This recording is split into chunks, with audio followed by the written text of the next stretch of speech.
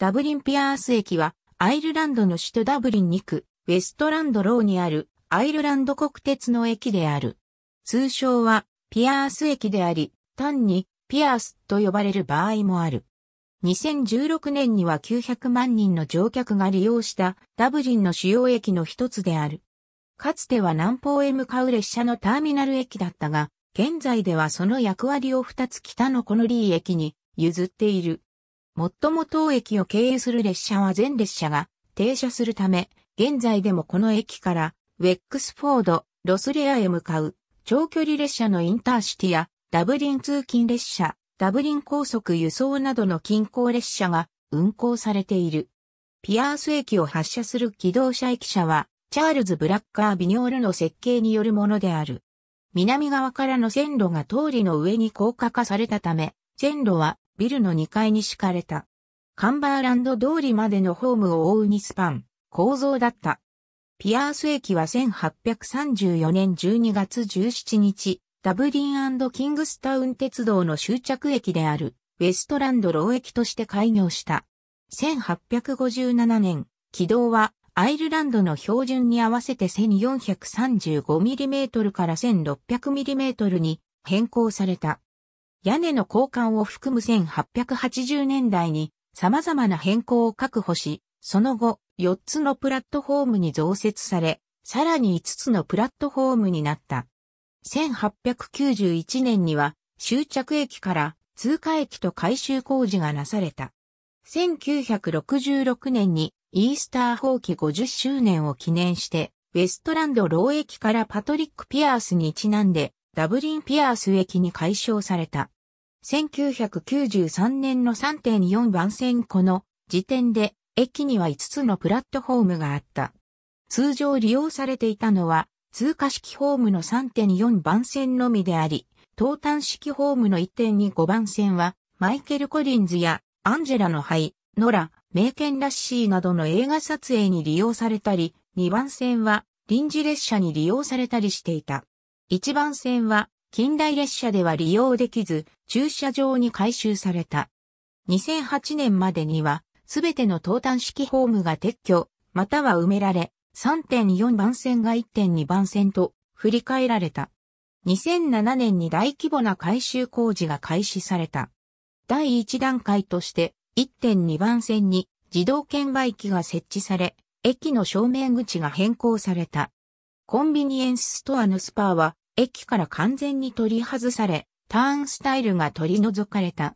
上述したように3.45番ホームが撤去され、看板と監視カメラが両ホームに追加され、2番線ではより広い待合室が追加された。南口が2013年4月9日に開業した。アイルランド国鉄市内最新豪華計画が完了したことにより、ダブリン通勤列車北部線と西部線の停車数が増加した。南西部線からの列車はピアース駅にも乗り入れている。ダブリン市内の鉄道信号を改善し、1時間に8本から20本の列車を両方面に運行することが可能となった。2015年3月に着工され、2016年7月17日に試運転が行われた。築130年の屋根の老朽化により1000万ユーロの屋根吹き替え計画が2018年8月に開始され、2020年6月に完了した。プラットフォームすべてのプラットフォームは屋内にあり、単式ホームを2つ向かい合わせた相対式ホーム2面2線を持つ高架駅である。すべての営業列車が停車するアイルランド国鉄の主要駅であり、一部の列車にとっては終端駅でもある。駅から南方面には車両基地であるダブリンピアース検釈があり、当駅を発着する列車が多く設定されている。改札口は2階にあり、地上との間にはエスカレーターとエレベーターが設置されている。出入り口は計2つのうち、1つはウェストランドロー、1つはダブリン大学トリニティカレッジの生物医学研究所前となる。トイレはコンコースにあり、無料の Wi-Fi スポットも利用できる。発射表はメインコンコースに設置されているほか、各プラットフォームにも設置されている。駅構内にはカフェが2点設置されている。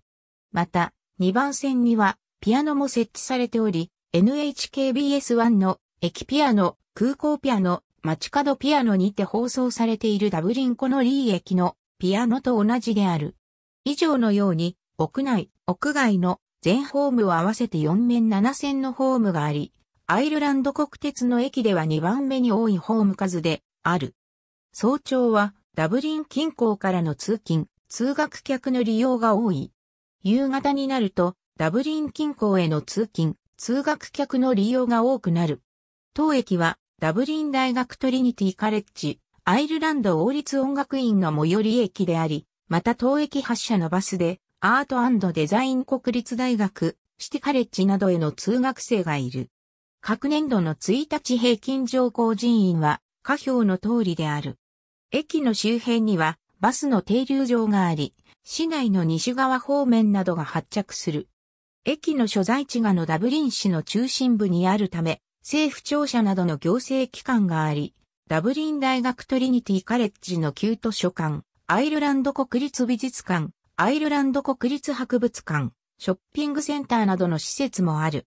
運輸局は、スペンサードックにある新しいドックランズ駅を経由し、ダブリン・ヒューストン駅を北部のダブリン高速輸送路線に接続するダート地下トンネルを計画した。